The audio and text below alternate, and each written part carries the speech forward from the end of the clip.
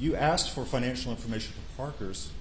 It was deemed premature because it related to punitive damages, correct? It- was different than the motion that it related to Alec. Because the law is how much money you have is a factor for punitive damages, correct? Well, you, you're, you're making statements of law. I'm telling you what was happening, and what was happening was, is that Alec's lawyers knew what the evidence was, they knew what the amendment was going to be and the allegations, and he knew ultimately he was going to be back in front of Judge Hall making some ridiculous argument that I, appears you're suggesting now. And again, the gist of this is that there was perhaps going to be this judgment day, I think is a term the state has used, but that was going to be trial, right? That was going to be the verdict. That was going to be judgment day, not this motion hearing where there's a pile of motions that have piled up, and we saw the one that asked for financial information was deemed premature. Not, not at all. You know, what was going on is, as, as I've said a number of times, Danny Henderson was very involved. Danny Henderson was a shareholder. Before I would have gotten the bank account information, before I would have seen the records, Danny Henderson would have seen those records. And I've seen the records. I've seen all the bank statements now. It would have been apparent to Danny Henderson, and I believe it would have been apparent to me uh, what Alec had been doing.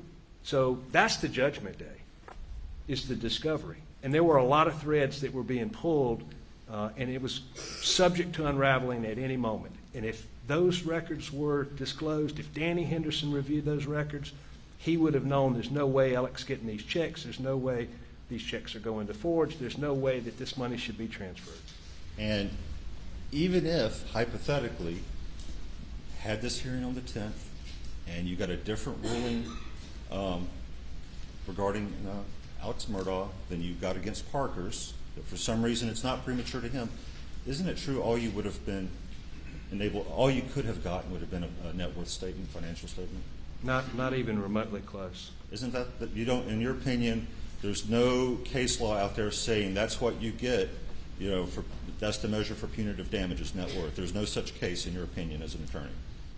I had seven circuit court orders where the circuit court had ruled that you don't bifurcate discovery, that it wouldn't be proper to have denied the motion, and then what are we going to do? We're going to try the case, and suddenly we're going to stop the trial and go and do the discovery? No. And so I had seven circuit court orders that I handed up to Judge Hall that supported our position. I think that that's what Judge Hall did in his order. Uh, and, again, you know, the issue is, not that complicated. It's does he have the ability to pay? Is he broke such that these people should uh, accept this pitiful offer if he could cobble it together? But sir, that's not what you get on a motion to compel, is it? Right, you, you're, you're, you just said ability to pay so your client can make a decision on whether to accept a settlement offer, but that is not what the motion to compel is about, is it? It's about evidence for trial. The motion That's the legal standard, is it not?